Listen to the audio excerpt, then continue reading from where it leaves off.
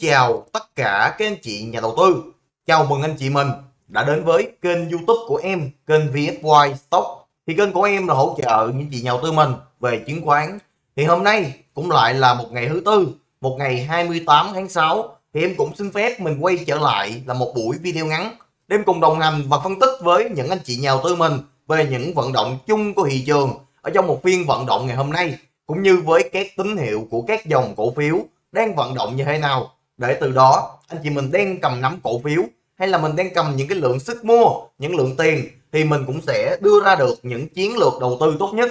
Nếu như những video của em mang lại kiến thức hữu ích và đầu tư hiệu quả, thì anh chị mình có thể ủng hộ em bằng một nút like, cũng như là một phần đăng ký kênh. Và đây cũng chính là những động lực thúc đẩy giúp em làm những video sâu tốt hơn và chia sẻ rộng rãi những kiến thức đầu tư đến với tất cả anh chị mình. Xin phép cảm ơn chị mình rất nhiều. Thì đầu tiên, anh chị mình sẽ thấy hôm nay là một cái phiên mà thị trường vận động đóng cửa tăng đâu đấy khoảng 4 điểm của thị trường chung. Thì bản chất hôm nay là một cái chuỗi 7 phiên tăng điểm liên tiếp của VN-Index thì với 7 phiên tăng điểm liên tiếp này trong những cái sự ngỡ ngàng của đại đa số những chị nhà đầu tư và đặc biệt là nó đã đánh tan đi những cái sự nghi ngờ bởi những cái yếu tố không tin, những cái tin tức bắt bớ bởi cuối tuần ở một số tập đoàn như là Amex nó dấy lên những cái lo ngại cho nhiều anh chị nhà đầu tư mình. Thì với những phiên tăng điểm vừa qua, anh chị mình cũng thấy được là gì? Trên thị trường chứng khoán là một thị trường có thông tin, của tin tức.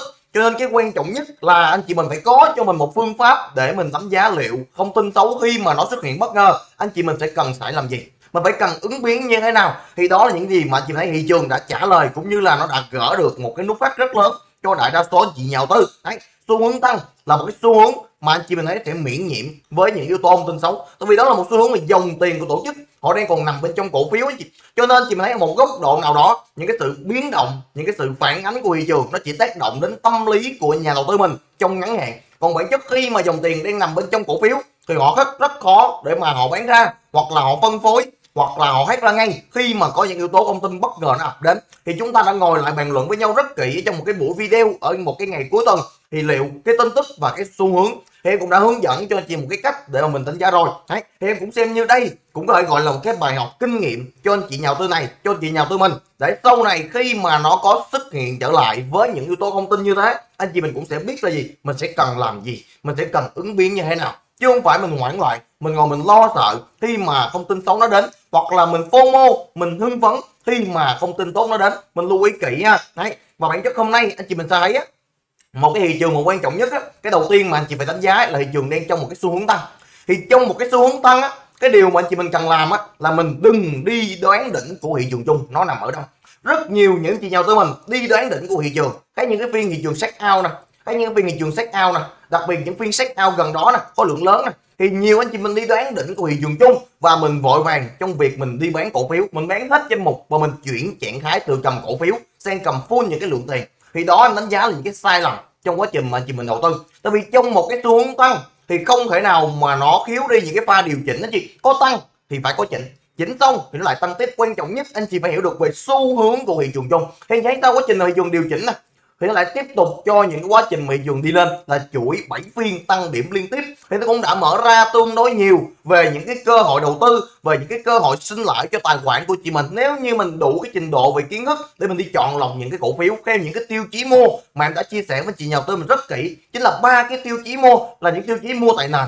Rũ bỏ kiệt thanh khoản và có dòng tiền mới đi vào, thì đại đa số với những cái điểm mua như thế này, không ít thì nhiều, anh chị mình đều có những khoản lãi nho nhỏ trên tài khoản của mình. Đấy, cho nên quan trọng nhất trên thị trường là anh chị phải có trên một cái chiến lược đầu tư. Đấy, đối với cá nhân em, khi mà trong một cái xu hướng tăng á, thì anh chị mình không nên cầm tiền. Không nên cầm tiền một trăm phần trăm anh chị nha.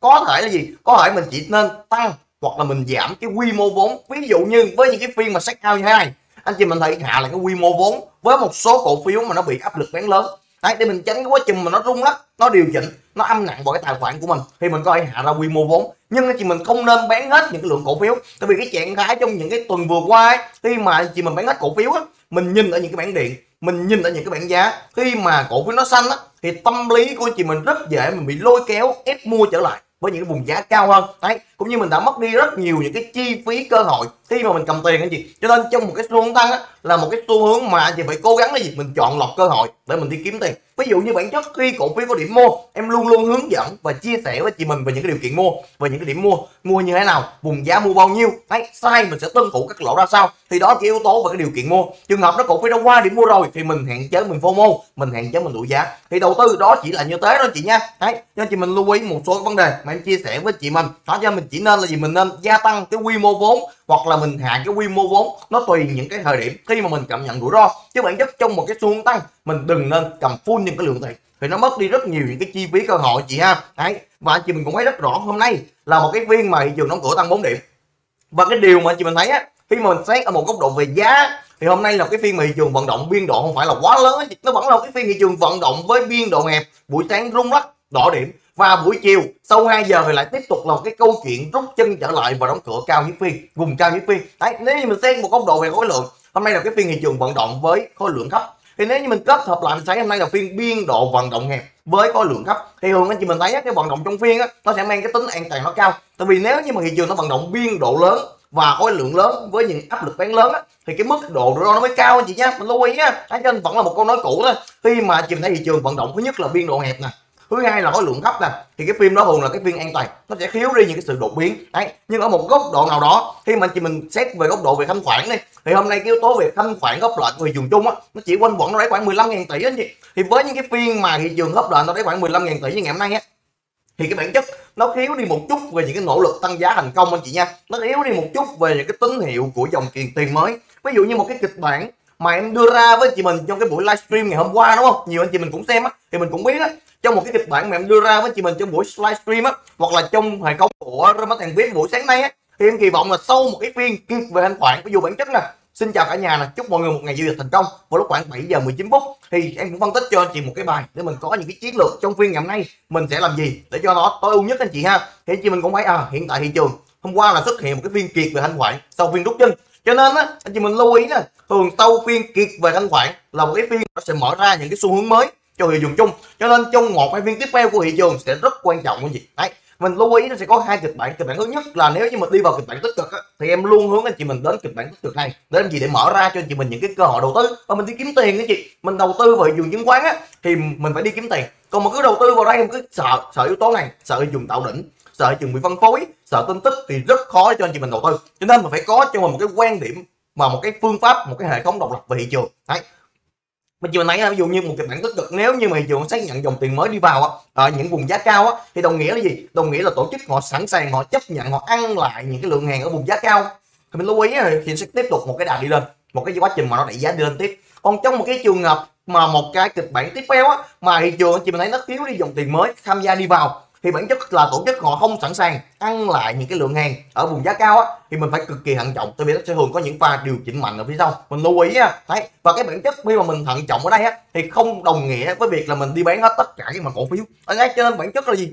Một cái vận động thị trường khi mà nó đi lên á, nó không tạo ra cho anh chị mình và những điểm mua an toàn á, là những cái nỗ lực tăng giá thành công nè và những cái sự xuất hiện của dòng tiền mới á thì anh chị mình sẽ tiếp tục mình cầm những cái lượng cổ phiếu mình đã có sẵn trên tài khoản. Mình tập trung vào cái danh mục anh chị mình liệu cổ phiếu anh chị mình có xấu hay không cổ phiếu anh chị mình có nên cơ cấu hay không? Nó mới chính là những câu trả lời anh chị ha. Thấy chứ nhiều lúc không phải là thị trường nó thận trọng, là anh chị mình đi bán hết tất cả cái lượng cổ phiếu trong danh mục của mình. Rồi sau đó mình ngồi mình nhìn thị trường nó tăng, thì mình cực kỳ tâm lý, kiểu gì anh chị mình cũng mua lại vùng giá cao. Thì khi đó mới rất dễ dính vào những cái pha điều chỉnh. Cho nên á, nhiều anh chị mình sợ điều chỉnh á, mình bán ra trước á, thì thường những người mà dính những pha điều chỉnh á chính là những nhà tư mình chốt lại trước đó. Mà bị tâm lý mình mua trở lại rồi thị trường nó mới điều chỉnh mình lưu ý ha đấy nên đó là một bài toán rất quan trọng trên thị trường chung. Thì hôm nay em sẽ cùng đi bóc tách với chị mình. Hôm nay bản chất dù thị trường nó tăng điểm đi, nhưng mà nó đâu đó chị thấy á, nó thiếu đi một chút về những cái sự đồng thuận anh chị ha. Thấy sự đồng thuận thị trường nó không có cao. Hôm nay chủ yếu là chị mình thấy sau 2 giờ, thị trường nó có tín hiệu đi lên là cực kỳ tích cực. Đó là cái điểm sáng đến từ dòng cổ phiếu của dòng ngân hàng anh chị. Thì theo bản chất dòng ngân hàng là hôm nay là sau 2 giờ nó có yếu tố mà nó đi lên từ một số cổ phiếu. Ví dụ chị thấy như MBB đấy là một cái phiên mà bay đi lên thì bản chất ngày hôm nay bản chất anh cũng không, nó thường nó sẽ không tạo những điểm mua chị. Hôm nay bản chất cũng không phải là điểm mua, nó chỉ phù hợp với những vị thế mà anh chị đang có sẵn ngày thì mình tiếp tục mình cầm nắm anh chị ha. Đấy với những cổ phiếu như MB và hiện tại anh chị nào đang cầm cổ phiếu á, và mình có lãi á, thì mình lưu ý giúp em à trong buổi video ngày hôm nay, em sẽ hướng dẫn cho anh chị một kỹ thuật, gọi là kỹ thuật chặn lại. Đấy, và anh chị mình không cần phải bán cổ phiếu đâu. Mình cứ đưa cho mình một cái mức chặn lại. Trường hợp cổ phiếu càng tăng, mình càng chặn lại. Khi nào nó quay đầu, nó chỉnh trở lại, nó vi phạm điểm bán thì anh chị mình chốt lại, mình rút tiền vào túi. Tại vì đôi khi mà anh chị mình chốt non, mình chốt sớm á, thì mình rất dễ mình đảo hàng, mình tìm ra những cổ phiếu khác để mình mua lại. Nhưng chưa chắc những cổ phiếu anh chị mình chốt lại xong mình mua lại cổ phiếu mới á, cổ phiếu mới nó mạnh bằng những cổ phiếu cũ mà anh chị mình tiếp tục mình cầm nắm. Cho nên một kỹ thuật chặn lại, thì nó, em đánh giá tương đối phù hợp với thị trường ở trong những cái bối cảnh mà thị trường nó bò bò bò bò đi lên chứ. Thị trường nó không tăng mạnh đâu, nó cứ bò bò đi lên nè, trong những cái sự nghi ngờ nè. Đấy, thì trong quá trình mà nó bò đi lên như thế này á, thì cái điểm mua mới á, hoặc là cái điểm mua an toàn á nó ít có chị nó không xuất hiện nhiều trong những cái ngày gần đây. Đấy, thì thường trong cái năm 2020 chị, em đã thấy một cái kịch bản này rồi. Thiếu như thị trường mà nó kiệt về khoản, nó không có những điểm dòng tiền á, nhưng mà nó vẫn bò bò đi lên á. Thì trong cái thời điểm năm 2020 nó có anh chị nè. Là một cái thời điểm mà sau những quá trình thị trường nó rủ nè, bắt đầu thị trường nó đi lên trở lại cho một cái xu hướng tăng anh chị thấy là bản chất á, ở đây chị thấy thị trường nó đi lên nó thiếu đi những cái phiên nỗ lực về dòng tiền.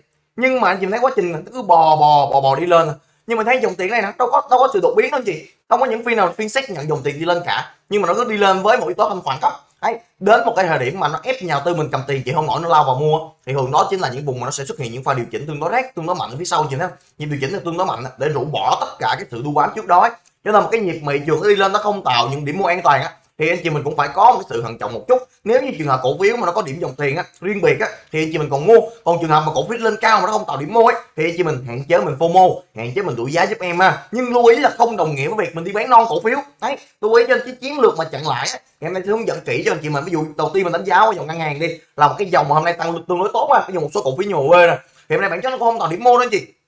Đấy, mà mình thấy một số cổ phiếu như MB ví dụ anh chị mình đang cầm nắm những cổ phiếu này á thì mình lưu ý giúp em là cái mức chặn lại cổ phiếu á dù là quanh cái biên độ quanh vùng giá 20 ví dụ trường hợp những cổ phiếu như MBB nè mà nó cũng vùng giá 20 á thì anh chị mình chốt lại Với trường hợp nó cũng về đây nè thì anh chị mình chốt lại nè. Còn nếu như trường hợp ngày mai nó tiếp tục cái đà đi lên tiếp á thì anh chị mình sẽ càng ngày mình càng nâng cái mức chặn lại mình lên.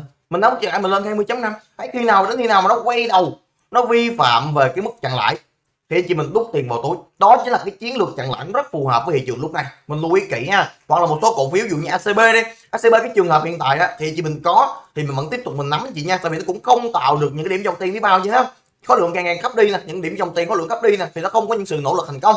Cho nên một số chị nào cầm ACB á, thì mình lưu ý mình chặn quanh cái vùng giá, quanh vùng 23 với những, quanh vùng 22 xin lỗi, quanh vùng 22 với những cổ phiếu như là ACB đấy một số cái vận động cổ phiếu tiếp theo. Thì chị mình sẽ chặn lại với một số cổ phiếu dùng BTV đi. À bản chất hôm nay ngoài cái cổ phiếu MB nè thì chị mình thấy bộ ba cổ phiếu của dòng quốc doanh dòng ngân hàng nhà nước á, nó cũng có một cái sự đi lên. Trong phiên ngày hôm nay em đánh giá là tương đối tích cực anh chị ha. Đấy cho nên một số cổ phiếu như BIDV á thì chị thấy sau quá trình test rất nhiều dịp một đấy nè hai đấy nè ba đấy nè bốn đấy nè đây quá trình test lại đấy đeo nhất nè rủ không hỗ trợ nè. Đây điểm spring anh chị thấy rồi điểm spring của cổ phiếu trong ngắn hạn nè, không hỗ trợ nè, ép bán nè, hồi lên nè, test lại đấy số 2 nè.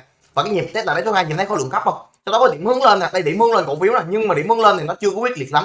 Thì nó thường có một điểm test lại nữa là phiên kia thanh khoản ngày hôm qua. Thì thanh khoản, hôm nay có dòng tiền đi vào. Thì mỗi điểm tích cực trong phiên ngày hôm nay á, là nó có điểm dòng tiền mới đi vào ở một số cổ phiếu lớn trong dòng VN30 dòng trụ như là BIDV thì đâu đó nó cũng sẽ tạo một cái sự tích cực hơn cho thị trường. Nhưng bản thân em mình kỳ vọng như phiên ngày hôm nay á, nó phải tạo sự lan tỏa nhiều hơn, nó phải tạo sự đồng thuận về dòng tiền nhiều hơn á, thì nó sẽ tốt hơn á nó càng tạo cho chị mình càng nhiều điểm mua an toàn á, thì đó là một thị trường nó càng an toàn hơn. Mình lưu ý nha, cho hôm nay bản chất nó chỉ có một số cổ phiếu dùng BIDV là tạo điểm mua nè. Sau điểm kỳ thanh khoản hôm nay bản chất là điểm mua điểm mua pivot anh chị nha. Pivot sau em kỳ thanh khoản nè. Và phiên ngày hôm nay nó cũng bứt quét luôn cái trên xu hướng giảm à xu hướng giảm bước quét trên xu hướng giảm nè thì với những cái điểm mà như ngày hôm nay á thì những cổ phiếu như BDV anh chị nào có mua thì vẫn đúng điểm thôi. Kỳ vọng về quanh cái biên độ về vùng đỉnh trước là quanh cái biên quanh vùng 47 anh chị nha. Lấy về đây thì sẽ ngắn, ngắn hạn anh chị mình sẽ canh nó về quanh vùng 47 mình lưu ý à con này về 47 anh chị mình cứ nắm hôm nay là điểm mua lưu ý. Đấy một số cổ phiếu như BDV nè thì cũng nốt lại trong cái phần à, ngày hôm qua không biết anh em làm video có chị nào để ý không? Đó, BDV cũng nói lại cho chị mình nè. Hôm nay bạn chắc là điểm mua nha. Đấy với tất cả nhà đầu tư hoặc là một số cổ phiếu anh chị mình thấy có CTG đi CTG cũng kiệt về khoản nè. Nhưng mà chắc những điểm mà nhìn nay lên gặp kháng cự nhỉ? Những điểm mà tăng giá như như là CTG này lên gặp kháng cự nào quanh cái biên quanh vùng 30 31 á, thì bản chất anh chị thấy CTG giai đoạn vừa qua nó cứ bò bòi lên thôi. Thì thường lên gặp cái biên quanh vùng 30 này em đánh giá nó sẽ tiếp tục có tích lũy lại cái biên trên đây anh chị. Đó, thì nếu như một cái trường hợp mà những cổ phiếu CTG mà tích lũy lại tốt á thì đó chính là một cái cơ hội vào dịp chính sống với những cổ phiếu CTG mình lưu ý kỹ nha. Thấy đoạn này bắt đầu có những thời điểm mình sẽ canh lại những cổ phiếu của dòng ngân hàng tại vì đây là cái điểm gì? Nó gặp là điểm AR nè, điểm kháng cự nè. Và nó tạo một quá trình mẫu hình tái tích lũy là một thời gian tương đối lâu, từ tháng 12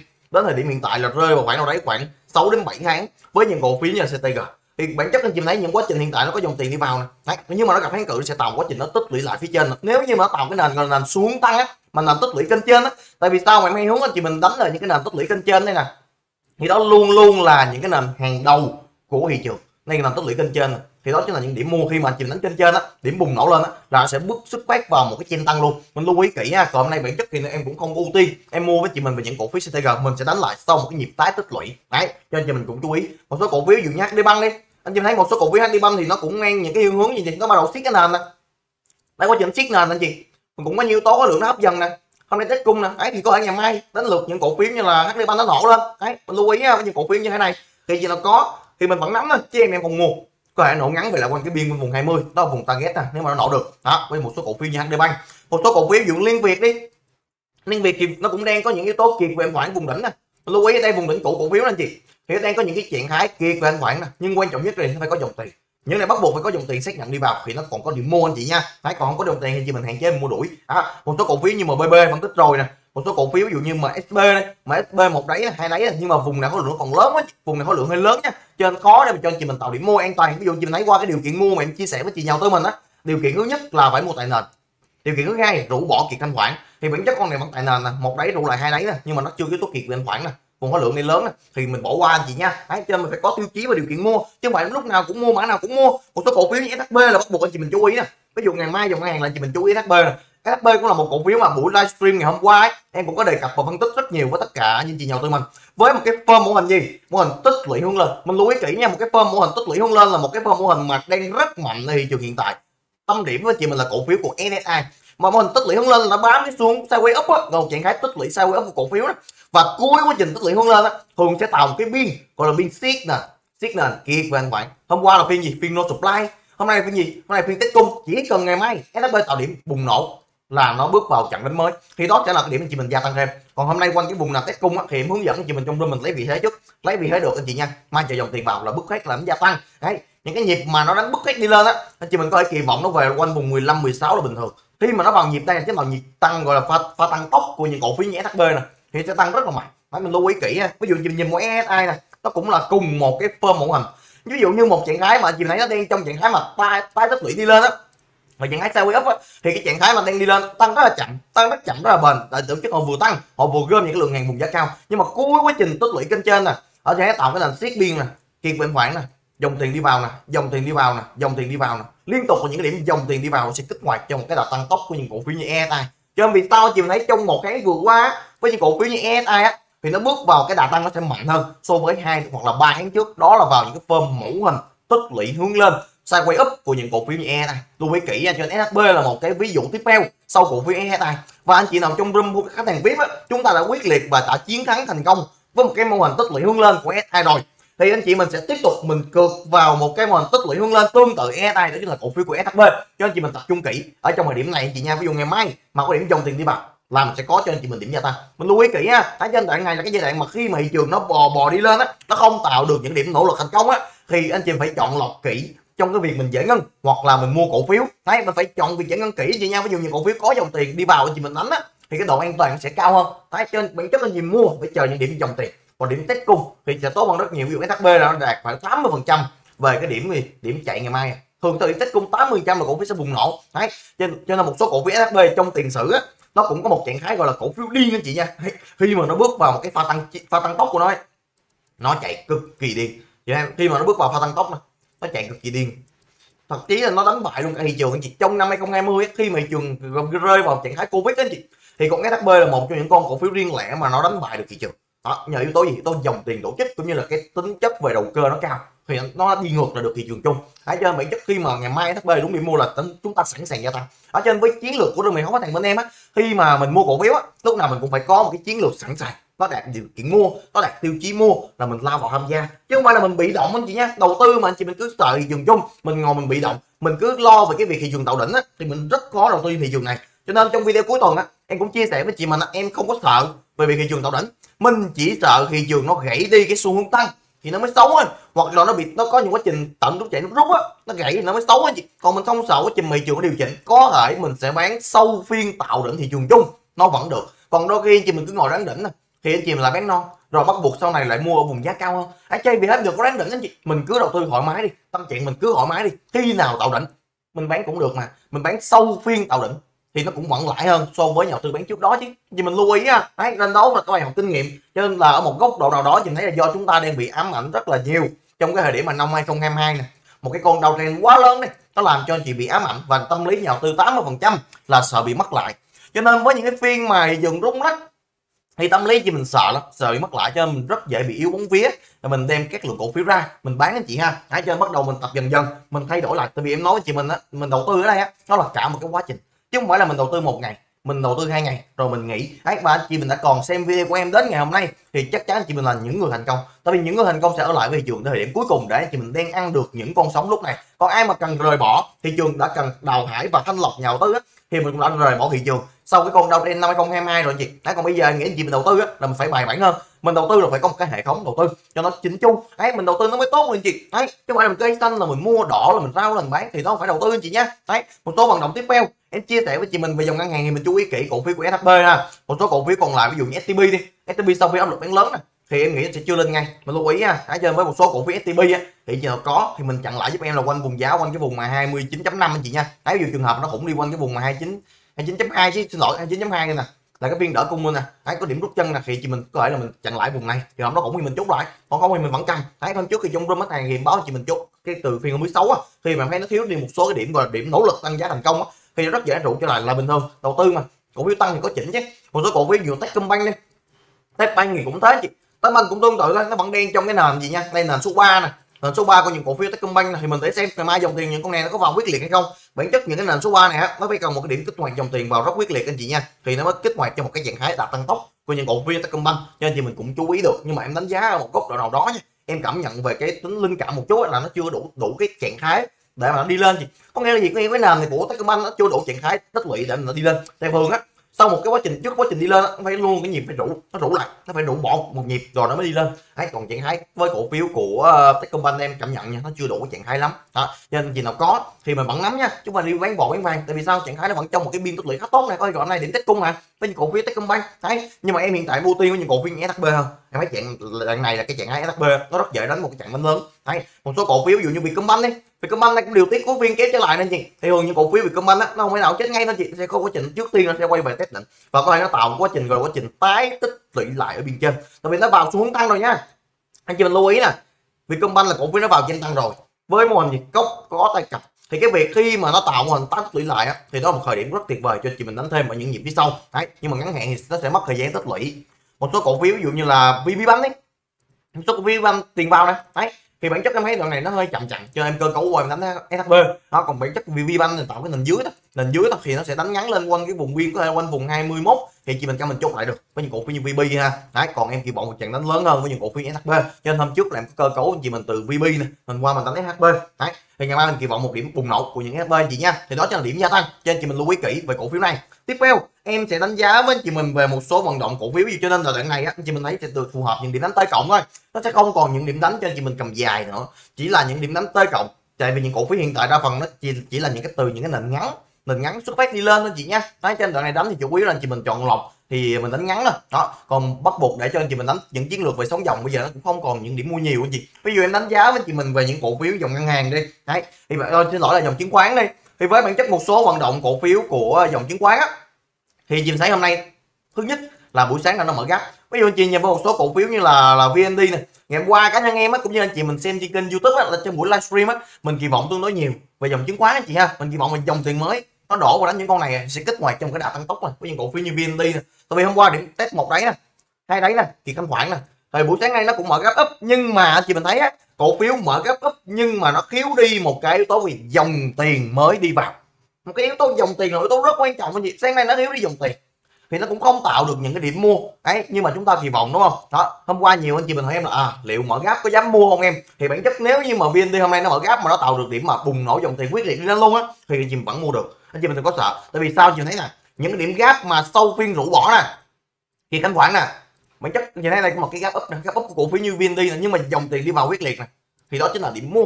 Mình lưu ý nha gap up sâu vùng rũ bỏ kỳ thanh khoản vẫn là điểm mua. Còn gap up mà nằm ở những vùng trên cao á thì chị mình hạn chế mình fomo mình hạn chế mình đuổi giá ha. Đấy còn hôm nay bản chất thì nó mặc dù nó mở gap up nhưng mà nó thiếu đi một cái nỗ lực tăng giá thành công với những cổ phiếu như VND buổi sáng thì nó tiền nó vào khá là tốt nhưng mà nó thiếu đi sự duy trì thì trong phiên buổi chiều nó quay lại nó giảm lại là bình thường anh chị nha. Đấy thì tiếp tục là khả năng sẽ tiếp tục nó tích lũy đây tích lũy đây mình chờ cái nhịp tiếp theo ha. Với những cổ phiếu như là VND đấy nên hôm nay điểm khá là tốt mà nó thiếu đi dòng tiền cho nên đó là cái điểm mà cá nhân em thì mình cũng không cảm thấy nó họ mãn lắm. Mình cảm thấy nó thiếu đi một chút về cái sự kỳ vọng. Đó với dòng cổ phiếu dòng chứng khoán. Thì trạng thái mình có mình vẫn nắm thôi. Một số cổ phiếu ví dụ như là là, là VCI nè VCI này tết cung anh chị One Supply nè này tết cung nè đó là cái vùng gì? Vùng thanh khoản thấp nè. Thì những cổ phiếu như VCI á, thì bản chất á, nó đã xuất phát đi lên rồi. Chỉ sau vùng kỳ thanh khoản dòng tiền đi vào là đã xuất phát lên rồi. Cho nên những con này mà kỳ thanh khoản tiếp theo ở những vùng giá cao á, thì ngày mai tiếp tục dòng tiền đi vào á. Thì tôi VCI nó vẫn còn cơ hội nha. Ngày mai dòng tiền đi vào á, thì nó vẫn đánh lên tiếp được anh chị nha. Đấy cho nên trạng thái VCI thì mình cũng luôn luôn mình quan sát kỹ với những vận động này. Và bản chất anh chị mình lưu ý giúp em là dòng chứng khoán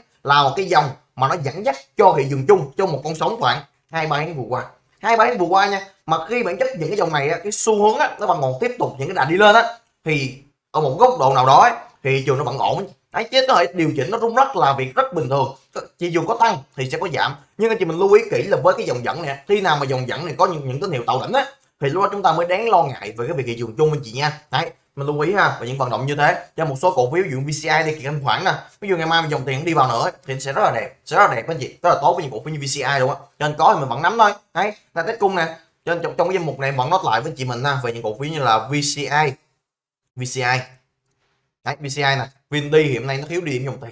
Mặc dù nó cũng khá là tốt trong ngày hôm qua đúng không? Đấy một số cổ phiếu ví dụ như SI đi SI vùng giá cao này thường nó cũng không còn những điểm mua chị nha. Đó trên trạng thái chị nào có với những cổ phiếu như SI là thì mình lưu ý giúp em là mình đưa ra cho mình một cái mức gọi là mức chặn lại với những cổ phiếu như là SI ví dụ một số cổ phiếu SI thì mình chặn lại giúp em á là quanh cái vùng giá quanh vùng bao nhiêu? Quanh vùng 20 ờ, quanh vùng biên cái phiên đỡ cung này chị quanh vùng 25.3 này nè. Đấy thì đây là cái mức mà chị mình chặn chặn lại đó, đó. trường hợp nó cũng đi cái vùng phiên đỡ cung này á, thì chị mình chốt lại mình rút tiền vào tối chị nha. Đó cho anh chị nào trong room vip anh em á thì hiện tại mình đang có những trạng thái mình lại đâu đấy khoảng tầm 30 đến 40 30 mấy phần trăm á, với những cổ phiếu như SI á, thì mình cứ chặn lại cái phần vốn gốc còn lại, trường hợp nó khủng, nó vi phạm, thì mình sẽ sẵn sàng mình chốt lại. Còn trường hợp nó càng tăng, thì ngày mai em sẽ hướng dẫn cho chị mình tiếp tục gì? Mình nâng cái mức chặn lại mình lên, mình lưu ý á hay đó là những trạng thái mà chị mình sẽ có những cái chiến lược chặn lại nó phù hợp với một số cổ phiếu đã bước vào cái đà tăng tốc đi lên rồi, thì nó không còn những điểm mua mới nữa. Đấy, một số cổ phiếu tiếp theo, anh chị mình nhìn một SHS cũng thế dùng qua kiệt anh khoản nè. Nhưng mà nó thiếu đi dùng tiền vậy nào Câu quan trọng nhất á là nó thiếu dòng tiền thì sẽ tiếp tục gì? Trong trạng thái cân bằng đó chị. Thì tiếp tục tạo cái nền cân bằng với những cổ phiếu như e, SHS thôi. Đấy một số cổ phiếu như FBS nè. FBS vẫn test cung anh chị nha. Chị lưu ý là hôm nay FBS vẫn test cung chị thanh khoản nè. Thì ngày mai những con này nó vẫn có xác suất nó nổ ngược trở lại. Thì anh chị mình vẫn đánh được. Đấy những trạng thái này siết cái nền rất là tốt với những cổ phiếu như là SAS cho nên em cũng nốt lại cho chị mình về SAS ha. Một số cổ phiếu như HCM đi. Đấy ORS thôi. ORS cũng tương tự anh chị. Đó một số cổ phiếu như HCM đi. HTM hôm nay thì bản chất thì nó vẫn trong cái biên đó gì đó những con cổ phiếu chứng khoán này nó vẫn thiếu đi một cái phiên điểm dòng tiền mới đi vào. Đấy cho mình hỏi mình kỳ vọng tiếp tục trong ngày mai với dòng cổ phiếu của dòng chứng khoán anh chị nha. Đó còn anh chị nào có ấy, thì mình vẫn nắm thôi. Tại vì sao? Khi mà anh chị mình đang cầm cổ phiếu á thì mình phải trả lời một câu hỏi là gì? Cổ phiếu hôm nay nó có đáng để cho anh chị bán hay không? Và nó có điểm bán hay không? Bản chất như cái này vận động hôm nay là bản chất là phiên vận động biên độ hẹp và khối lượng thấp. Thì nó không có bất kỳ một cái điểm nào đó gọi là điểm bán cho anh chị mình cả. Thì một cái phiên mà trước đó đã có dòng tiền đi vào rồi nè mà nó vận động biên độ hẹp khối lượng thấp á, thì chị mình cứ ngồi im đó, mình gồng lãi mình cứ cầm cổ phiếu đó. Chắc gì anh chị mình bán ra những cổ phiếu như dòng chứng khoán, mà mình đã chọn lọc, mình tham gia vào những cổ phiếu nó mạnh hơn. Lưu ý ha đây một số cổ phiếu, ví dụ như FTS nè nhìn chung thì dòng chứng khoán đoạn này nó đang tạo cái vùng nó chững lại nó chững lại nó kiệt về khoản nè. Đấy thì ví dụ như có dòng tiền đi vào thì chị mình đánh thêm còn không có dòng tiền thì chị mình yên tâm gì mình cầm nắm thôi. Ví dụ một số cổ phiếu như là là FTS á, thì chị mình lưu ý cái mức chặn lãi là quanh cái vùng giá quanh vùng mà 29.5 nha. Nếu mà nó cũng 29.5 thì chị mình chốt lại mới rút tiền vào túi. Một số cổ phiếu như CTS nó cũng tương tự. Một số cổ phiếu như CTS thì mình chặn lại giúp em là quanh vùng 20.5 đây anh chị. Trường hợp nó khủng vùng 20.5 nè thì chị mình chốt lại. Còn không mình cứ cầm với những cổ phiếu như CTS đấy. Một số cổ phiếu tiếp theo như BSI này BT cũng tương tự như thế chị. Cái vùng này bản chất nó cũng không còn những điểm mua với những cổ phiếu như BT nữa. Đấy, thì chị mình chỉ phù hợp mình chặn lại đó mình chặn lại quanh vùng giá 32 nha. Trường hợp mà nó khủng quanh vùng 32 thì mình chốt lại, còn không thì mình vẫn cầm đó là một số vận động cổ phiếu của dòng chứng khoán. Nhìn chung mà khi mà càng lên cao á, thì dòng chứng khoán nó cũng càng càng dần càng dần nó không còn nhiều những điểm mua cho anh chị mình nữa. Ví dụ một số cổ phiếu nó còn điểm mua, ví dụ ngày mai cái điểm hướng lên được á, thì chị mình đánh. Tại vì ở đây nó vẫn là trong cái nền gì, nền ngắn này. thì thường cái nền ngắn chị mình đánh ngắn thôi. Nhưng mà chị mình lưu ý, nền ngắn thì chị mình lưu ý cái mức độ rủi ro nó sẽ cao hơn so với cái nền dài nên dài cái quá trình tổ chức họ gom hàng nó sẽ lâu hơn. Cái vùng giá vốn nó đáng tin cậy hơn. Mình lưu ý á, có những trạng thái mà chị phải đánh giá được. Đấy, một cổ cổ phiếu như VCI nè, một số cổ phiếu ví dụ như chị mình thấy như là HCM đây, hoặc là SBS thì nó vẫn trong cái tầm sách còn một số cổ phiếu như VND thì nó phải chờ nó test lại một nhịp nữa chị. Nó đâu đó phải có một cái điểm xác nhận dòng tiền lên thì chị mình canh được. Còn không thì mình vẫn có hàng thì mình cầm thôi. Đó, một số cổ phiếu dòng chứng khoán đó là như thế nè. Ngân hàng, chứng khoán nè mình phân tích thêm với chị về dòng ghép đi. Thấy giờ thấy dòng ghép không? Một số cổ phiếu như hòa phát á nó làm mưa làm gió trong thời điểm vừa qua. Thì không biết ở đây có còn anh chị nào mình còn đem nắm cổ phiếu của hòa phát không chị? À, cái điểm mua chuẩn nhất của Hòa Phát là sau quá trình gì? Rủ lại nè kiệt quẹn khoản nè dòng tiền đi vào. Thì đây chính là điểm mua tuyệt vời với những cổ phiếu như Hòa Phát. Thì nó xuất phát trong cái đà tăng tốc đi lên rồi nhưng bây giờ đã nói về điểm mua nó không còn điểm mua.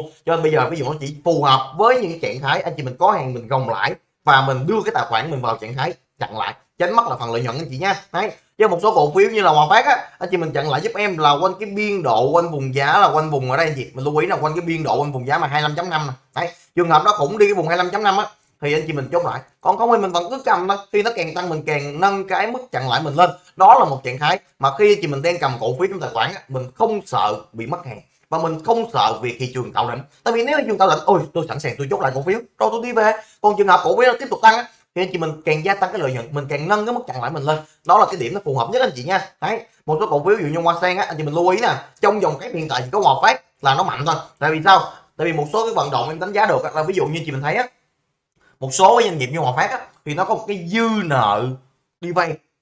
Nó khá là cao, khá là cao anh chị. Mà khi mà ngân hàng nhà nước trong giai đoạn 6 tháng đầu năm á, chủ trương là giảm lãi suất điều hành thì cũng chủ yếu á, là sẽ giúp đỡ cho những cái doanh nghiệp đi vay. Những cái doanh nghiệp mà có cái phần dư nợ lớn anh chị nha. Đấy cho một số doanh nghiệp như hòa phát á, thì nó cũng sẽ giảm đi bớt được những cái chi phí về lãi vay.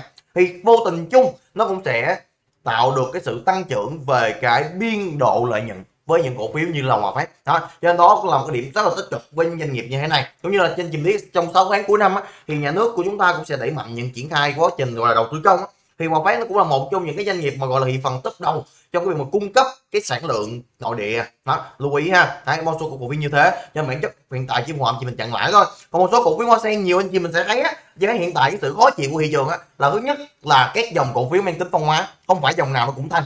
Thứ hai là sự phân hóa của từng mã cổ phiếu trong dòng, ví dụ dòng thép anh chị thấy hòa phép có tăng nhưng chưa chắc những cổ phiếu như hoa sen, nam kim nó đã tăng à mình lưu ý nha. Thấy cho một số anh chị mình á mình sẽ bội vàng gì khi mà mình thấy hòa phát tăng á mình lao qua mình mua hoa sen á.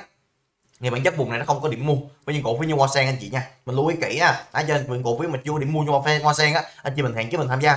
Bản chất á chị lưu ý một điều là nếu như mà hòa phát tăng á thì nếu như mà những cổ phiếu như hoa sen năm kim mà nó mạnh á thì cũng sẽ có những sự đồng thuận nó tăng theo chung với những cổ phiếu như hòa phát. Và hiện tại bản chất những cổ phiếu như năm kim hoa sen nó chững lại nó chững lại thị trường phải có một cái sự nghi ngờ một chút nha. Tại sao? Những tổ chức còn không tận dụng dịp này họ đánh đi. Đấy, mình lưu ý á, đó cho mình chất những cổ phiếu, ví dụ như nam kim á. Anh chị mình có thì mình nắm thôi. Mình không có bội vàng, mình bán đâu. Mình có, mình cứ chặn lại. Dù chặn lại giúp em là quanh vùng giá quanh 17.5 với những cổ phiếu như là nam kim. Đấy, một số cổ phiếu hoa sen á, thì anh chị mình chặn lại là quanh cái biên độ vùng giá quanh vùng 16.5 với những cổ phiếu như hoa sen nha. Trường hợp nó khủng vùng này thì chị mình nên gì? Mình nên chốt lại. Tại vì khi mà khủng vùng 16.5 á, rất dễ rủ về vùng biên dưới này để nó tiếp tục trong quá trình nó tách tích lũy lại với những cổ phiếu như hoa sen đấy mình lưu ý một số cổ phiếu của dòng thép ngoài một số cổ phiếu còn lại dùng VGS rồi nó cũng không có mạnh lắm anh chị. Trong dòng thép chỉ có một mình hoa, hoa phát là nó nó gọi là một mình một cội nó đi lên thôi. Đấy. một số vận động tiếp theo em đánh giá với tất cả những chị nhà tôi mình về dòng cổ phiếu dòng dầu khí đi ha. Đấy ví dụ vậy chắc là chị thấy sáng nay dòng dầu khí nó cũng có yếu tố xanh nhưng mà bản chất nó thiếu dòng tiền. Thì cái vùng này đây là vùng có tách tích lũy mà khi mình cứ để cho nó tách tích lũy nó bắt đầu những tín hiệu nó kiệt quệ khoảng rồi thanh khoản nghe nó hấp dần nè. Test lại phía áp lực bán lớn nè test lại thanh khoản thấp nè. Thì ví dụ đâu đó chị mình chờ dòng tiền mới dù ngày mai nó đỡ cung lên á thì sẽ khá là tốt. Và sau đó cái điểm dòng tiền hướng lên là điểm mua. Đấy trên đây là kịch bản mua nha. Mua sớm nhất với những cổ phiếu như BVD á, là nó rủ một nhịp nè. Hồi lên nè test lại phía áp lực bán lớn nè. Thì nó phải test lại xem là à, những chị nào bán trong phiên này nè thì cái lượng hàng mình còn hay không? Mình có còn bán ra hay không? Cho nên chị thấy vì sao mình hôm qua nhiều anh chị mình hỏi em là có mua BVD không em? Thì bản chất nói chị mình đừng có vội vàng trong việc mình mua mà bản chất thường hôm nay nó tăng lên sẽ test lại phiên áp lực bán lớn á. Thì sau đó thì có điểm gì nó rủ lại nó rủ lại thành công. Nó tạo phiên đỡ cung lên. Thì điểm dòng tiền ở phía sau mới chính là điểm mua. Lưu ý như cổ phiếu BVD ha. Còn bây giờ nó đang trong trạng thái tích lũy lại, mình cứ để tích lũy thôi. Một số cổ phiếu như BVS cũng thế thì nó đang trong trạng thái tích lũy lại. Sau quá trình nó gãy rũ á, nó gặp phiên áp lực bán lớn á. Chị thấy không sau phiên áp lực bán lớn thì sẽ mất thời gian nó cân bằng thì mình cứ để cho cổ phiếu nó tự cân bằng nó khi nào kiệt về em khoản sẽ hướng dẫn cho anh chị mình. Ai còn trong rơm bắt hàng thì em có, em vẫn nắm á chị. Ví dụ như cổ phiếu BVD mình chặn lại giúp em á. Ví dụ như nếu như mà trong trường hợp nó cũng liên quan vùng giá nè, thì mình sẽ xử lý nè đấy, còn không, mình cứ cầm thôi. Một số cổ phiếu như BVS cũng tương tự như thế. Thì ví dụ trong trường hợp nó khủng liên quan cái biên quanh cái biên quanh vùng mà 31.5 đây nè, thì chị mình chốt lại nè. Còn không, mình vẫn cứ nắm với những cổ phiếu như BVS chị ha. Đấy, một số cổ phiếu tiếp theo. Ví dụ chị mình thấy như BVT đúng không? Hôm qua có cái trần nè. Nhưng mà bản chất hôm nay chị thấy sáng mở gấp ấp không? Gọi là cái đợt gì? Double gap hôm qua cũng chia sẻ với chị mình về một cái kinh nghiệm để mình xem về gap á cái gì. Gap đầu tiên sau quá trình kiện thanh khoản. Tết cung thì hôm qua bạn chắc là điểm mua anh chị đừng có sợ nó mở gấp ấp nhưng hôm nay sau phiên bùng nổ mà cổ phiếu tiếp tục mở gấp ấp thì nó vào trạng thái double gap. Thì thường chắc khoảng 80 phần trăm sẽ lắp lại gấp trong phiên gì thế không cho anh chị là sáng nay mua đuổi những cổ phiếu BVT này, trong phiên quay về lắp lại này. cho nên những con này á anh chị muốn mua ấy anh canh ngày mai ví dụ ngày mai nó test là quanh cái biên mà quanh cái biên mà 22.7 22.5 đến 22.7 á thì chị mình cần mình mua được. Mình lưu ý à, hôm nay mở gáp tăng lên gặp kháng cự lên chi thì quá trình cổ phiếu nó quay về là lắp gáp là chuẩn với yếu tố về cung cầu ngày mai mà nó test lại giá giá, giá dưới á, quanh giá đỏ á, thì chỉ là muốn mua mình canh được anh chị nha. Đấy thì cũng không có gì phải quá lo lắng đâu vận động chuẩn về cung cầu mà em nghĩ BVT đây cái biên kích hoạt cho một cái chu kỳ tăng ấy đấy thì nó sẽ đi lên đó chị nên chị mình chú ý cái này được. Đó một số cổ phiếu ví dụ như là bâu đi, bâu đoạn này mới bắt đầu nó cũng có những trạng thái nó cũng ngang sự an toàn nó cao anh chị. Tại vì sao? Ví dụ đoạn này mà có mua ấy thì chị mình chủ yếu đánh tay cộng nè mà mình thiên hướng liền mình mua tại nền thì cái độ an toàn nó cao. Nhưng mỗi một số cổ phiếu như bâu á chị thấy nè thứ nhất là tại nền nè thứ hai là có điểm rũ bỏ rũ bỏ nè kiệt về anh khoản này, chị thấy không? Hồi lên nè, có dòng tiền hồi lên nè cộng kháng cự nè. Rủ lại nè tạo trình hai đáy đây đáy thứ nhất nè. Hồi lên rủ lại nè đáy số 2 nè. Đấy, hôm nay là phiên gì? Phiên cho tín hiệu gì? Mồi dòng tiền. Phiên mồi dòng tiền và đỡ cung thành công, cho tín hiệu tạo đáy thành công với những cổ phiếu như bâu á. Thì thường một trạng thái mà cổ phiếu nó tạo đáy thành công á, xác suất mà nó khủng vùng này là không cao lên gì. Mà lưu ý đâu, nguyên lý về cổ phiếu test đấy cho nên ví dụ ngày mai mà con này nó tạo điểm mà pivot á pivot đi vào sẽ rất là đẹp với những cổ phiếu như bâu anh chị ha. Đấy, thì đoạn này có thể là những cái nhịp của những cổ phiếu mà đã tích lũy lâu rồi, như là bâu nè, chị thấy không? Một hai tháng vừa qua đâu có sống đâu. Chủ yếu là đi ngang những cái nền tích lũy thôi. một nền, hai nền, thậm chí đây là cổ phiếu nó cũng trong những trạng thái gọi là ba nền tảng giá là một nền, hai nền, ba nền, tương đối siết nền rất là chặt nè. Rủ bỏ kỳ thanh khoản nè, thế là đấy nè hôm nay điểm màu dòng tiền nè. Thì mai chờ điểm hướng lên nữa dòng tiền quyết liệt hơn nữa. Thì sẽ rất là đẹp với những cổ phiếu như bông ha những con như bông mình chỉ mình lưu ý nè nó bứt khác được cái vùng mà quanh cái biên quanh vùng 14 á mà dòng tiền nó lớn hơn tầm khoảng 10 đến 15 triệu cổ phiếu á, thì đó chính là điểm bùng nổ với những cổ phiếu như bông nha. Hãy cho anh chị lưu ý kỹ ha một số cổ phiếu riêng lẻ ở đây á thì anh chị mình cần chú ý thêm cổ phiếu bông bông nó thuộc dạng là dòng điện đó nó cũng chọn phải là dòng dầu khí đó nó vận động riêng lẻ một chút. Đấy một số cổ phiếu tiếp theo anh chị mình lưu ý một số cổ phiếu dụ dầu khí á, anh chị mình chú ý một số cổ phiếu như BR ví dụ em thấy một số cổ phiếu như BR nhiều anh chị mình sẽ chê nhưng với góc nhìn của em thì khác gì. Ví dụ bản chất đây có điểm mồi dòng tiền nè, nhưng mà nó lên nó gặp là một kháng cự nè. Mình lưu ý với những cái cổ phiếu nó gặp là một kháng cự thì sẽ thường chưa lên ngay, sẽ có điểm rủ nè, chị thấy không? Quá trình nó rủ lại nè, ép bán nè chứ quá trình lò bỏ sự đu bán của nhà đầu tư nè. Nhiều anh chị mình cầm cổ phiếu trong nhịp rủ này thấy chán không? Cực kỳ chán với những cổ phiếu BR nhưng quá trình rủ kiệt vàng khoản nè. Những này mà chờ dòng tiền xác nhận đi vào là điểm mua. Đơn giản là như thế đó. Chứ mình lưu ý, tại vì mình phải nhớ cho kỹ giúp em là gì. Tiêu chí mua và điều kiện mua của mình là gì. Thứ nhất là mua tại nền thứ hai là rủ bỏ kỳ thanh khoản, thứ ba là dòng tiền mới đi vào. Thì đó chính là gì? Điểm mua. Ấy một số cổ phiếu như ôi cũng như thế.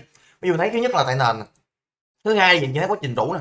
Họ lên rủ lại nè, kỳ thanh khoản nè. Hôm nay điểm gì tết cung với những cổ phiếu như nè. Mai dòng tiền hướng lên là điểm mua. Ấy trên trong dòng dầu quý á, vì sao em nói chị mình nên chú ý hai mã thôi? Một là BSR hay là ôi tại vì em thấy cái thiên hướng nó mang cái sự test nó kỳ thanh khoản đấy còn những cổ phiếu BVD hoặc là BVS á, thì sẽ thường tiếp tục tích lũy lại tích lũy lại một thời gian nữa chị nha. Đấy cho nên chú ý về dòng dầu khí có hai mã thôi. Hai mã là BR với OI nè. Đó một số cổ phiếu tiếp theo em sẽ đánh giá với tất cả chị nhà đầu tư mình về dòng đầu tư công đấy.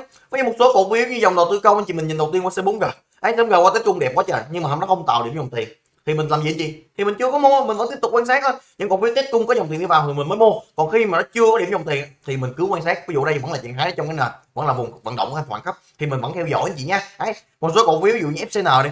FCN lần này em cảm nhận nó sẽ hơi có một góc độ gì đó sẽ hơi yếu một chút. Đấy, nó rủ về cũng là quá trình theo khoảng cấp nè. Thì quan trọng nó phải có dòng tiền mới đi vào nữa thì nó mới mạnh. Đoạn này những cổ phiếu đầu tư công nó nổ một phiên lên, nó tích lũy lại là bình thường anh chị, nó sẽ chưa tăng mạnh đâu. Đó, một số cổ phiếu, ví dụ như thấy HHV đi nổ phiên lên nè. Thì chủ yếu nó phù hợp với những trạng thái chỉ mình có hàng mình cầm nắm thôi. Còn điểm mua vùng này nó hơi khó với những cổ phiếu của dòng à, đầu tư công anh chị ha. Đấy, cho một số cổ phiếu dòng đầu tư công á.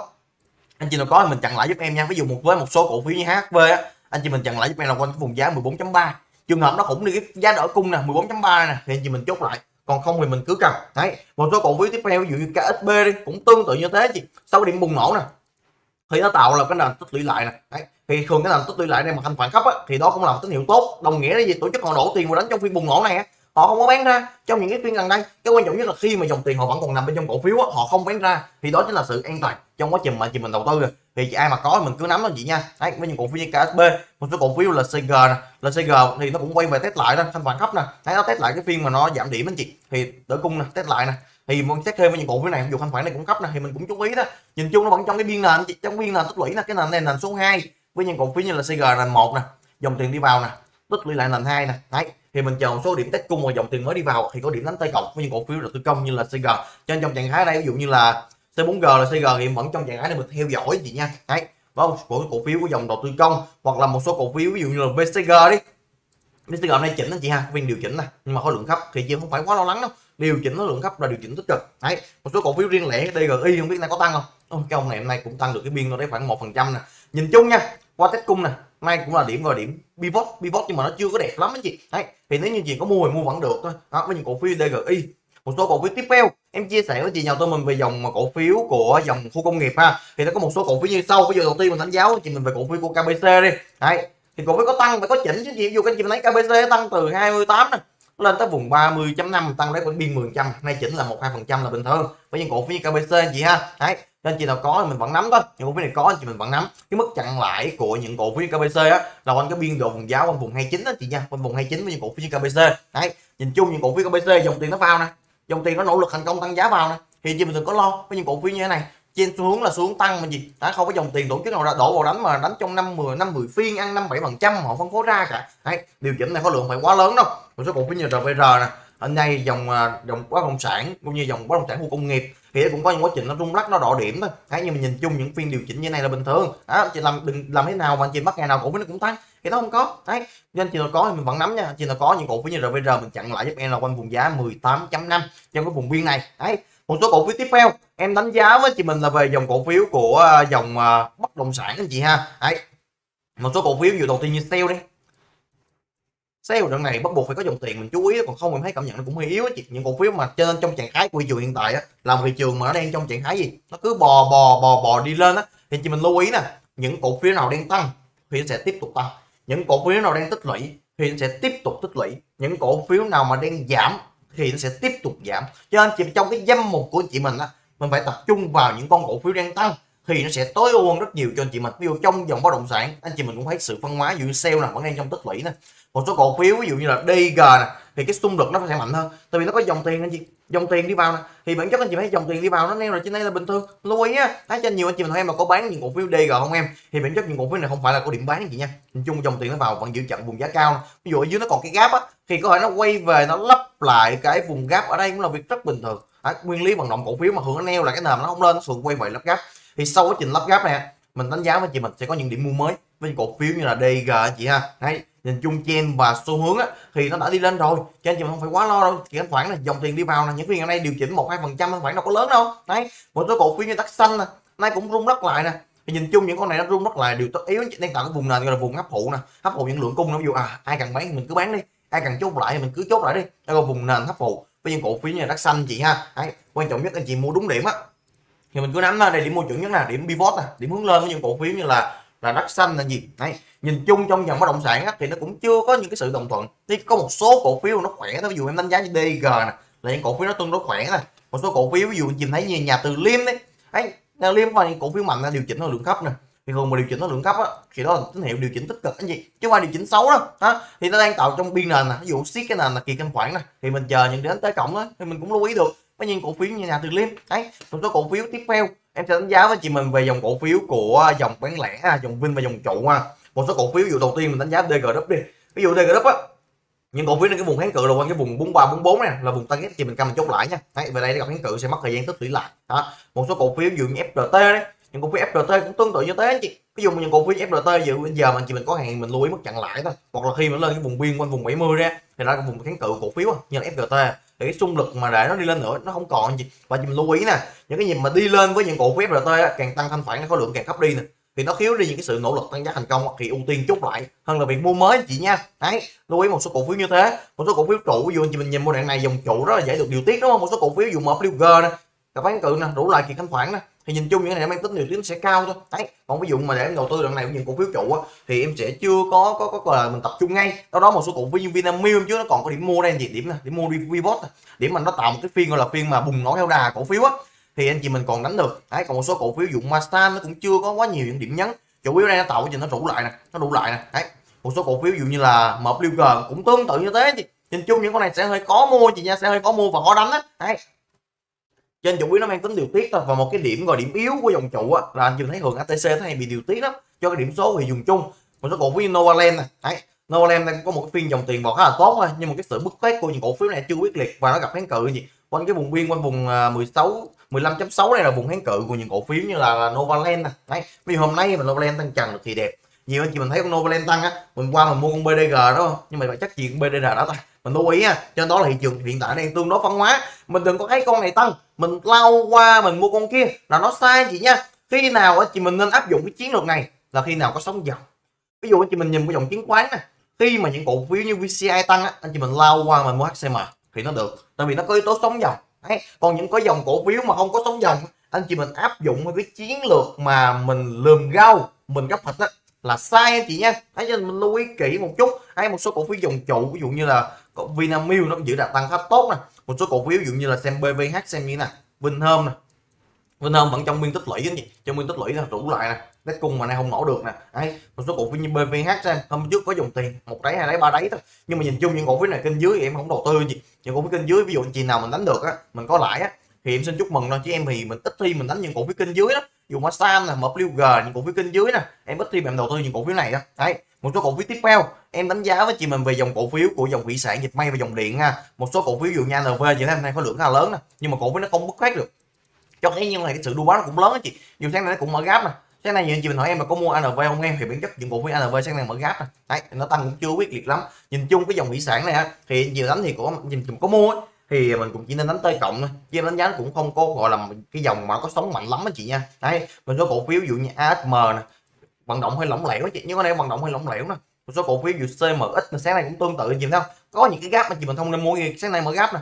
Nhưng mà bùng nổ lên mở gap gặp kháng cự. Khi quá trình cổ phiếu nó quay về lắp gáp là việc rất là bình thường. Cho nên gap anh chị khi mà mình phân tích á mình phải đặt cái vị trí của cái gap nó nằm ở đâu? Thì nó phù hợp. Ví dụ gap bùng nổ gặp kháng cự thì không phải điểm mua. Đấy, nhưng mà gap sau quá trình kiệt cung mở gap đi lên á thì nó vẫn là điểm mua. À, lưu ý nha. À, một số cổ phiếu dù dùng dòng điện nếu nhìn mình nhìn qua GEG nó gì?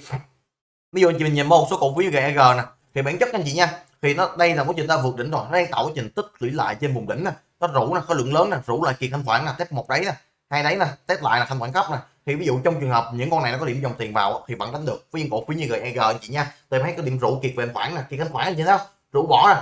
Loại bỏ sự đu bám nè. Hồi lên test lại kiệt về khoản nè. Đấy, một số cổ phiếu như bâu cũng như thế chị. Đánh giá đoạn này có thể là dòng điện. Dòng điện hay là điểm nhấn tiếp theo cho một số dòng cổ phiếu riêng lẻ. Chị mình cho mình chú ý được ha. Em thấy là đẹp với những cổ phiếu GEG ấy. Đấy, chờ quá trình nó test đi test lại đi. Một số cổ phiếu như là là BC1 cũng thế. Nhìn chung xuống của cổ phiếu là xuống giảm thì phải chờ dòng tiền nó vào thì mình mới chú ý anh chị nha. Đấy trên đâu đó chỉ có bâu làm cái nó giữ trận tốt nè giữ qua cái nền khá là tốt nè. Mô hình gãy nền rũ nè nền gãy xuống nè test lại nè dòng tiền nè. Đấy đó một số cổ phiếu của dòng uh, dòng điện. Một số cổ phiếu của dòng thủy sản xem. Bây giờ bản chất chị thấy có dòng thủy sản đi thì bản chất cũng là điểm mua ngày qua này điểm dòng tiền. Đấy thì chờ mua mình cứ nắm thôi. Hôm nay điểm gì? Điểm nó có lượng cấp nó chỉnh lại là bình thường. Cũng có tăng và có chỉnh chứ. Đấy đó một số cổ phiếu dòng thủy sản anh chị nha dòng dệt may và dòng điện. Đó thì đó là những gì mà em chia sẻ đến với tất cả những chị nhau tới mình trong một cái buổi video như ngày hôm nay. Thì chị mình lưu ý nè thị trường hiện tại á, là thị trường mà nó vẫn trong trạng thái nó cứ bò bò bò bò đi lên.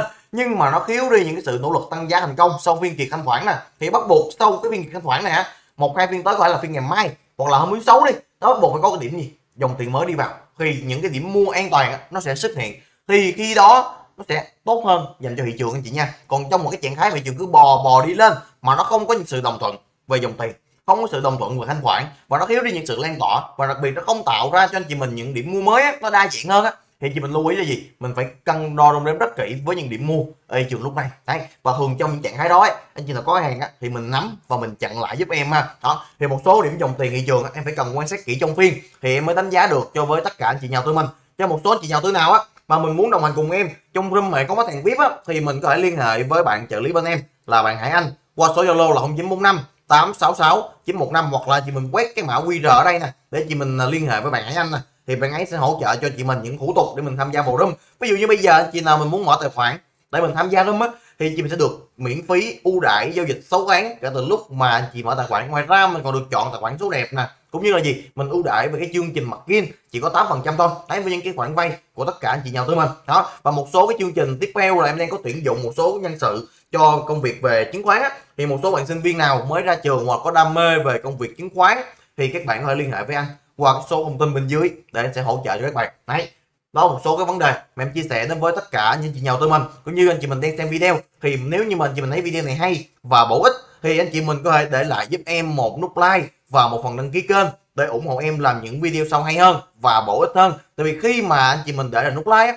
thì cái hiệu ứng đề xuất của YouTube á, sẽ càng đề xuất thêm cho những người xem mới. Thì xem như đây cũng là một cái phần động lực giúp em làm những video sau và chia sẻ với chị mình nhiều hơn về kiến thức trên thị trường. Đấy, nhìn chung thị trường hiện tại anh chị mình tập trung nhiều hơn về cái danh mục cổ phiếu. Anh chị mình đang cầm nắm cổ phiếu nào và điểm mua của anh chị mình là bao nhiêu? Nếu như mình giải ngân mới thì liệu cổ phiếu nó có đạt về ba tiêu chí điều kiện mua ở đây hay không thì anh chị mình sẽ có những trạng thái mình giải ngân được. Còn khi mà nó không còn điểm mua anh chị mình hạn chế FOMO mình hạn chế mình đuổi giá anh chị nha. Đấy và chúng ta rất cần một cái phiên dòng tiền mới xác nhận đi vào của thị trường chung thì nó sẽ tốt hơn. Đó là kịch bản tốt nhất mà em đưa ra cho anh chị mình. Còn khi mà thị trường nó không có điểm dòng tiền mới đi vào mà nó cứ bò bò đi lên á thì những cái nhịp mà rủ mạnh phía sau á, khi nó sẽ thường sẽ xuất hiện rất là sớm anh chị nha. Đó cho nên mình cũng phải tỉnh táo và mình cũng sẽ có một cái sự thận trọng nhất định với thị trường lúc này. Đấy, nhưng mà sự thận trọng không có đồng nghĩa với việc là anh chị mình đi quét tất cả các lượng cổ phiếu ra mình bán, mình cầm tiền, mình ngồi quan sát thì mình lại rất dễ dính vào những trạng thái FOMO trong một số phiên thị trường tăng điểm. Đấy, thì đó là cái buổi video ngày hôm nay.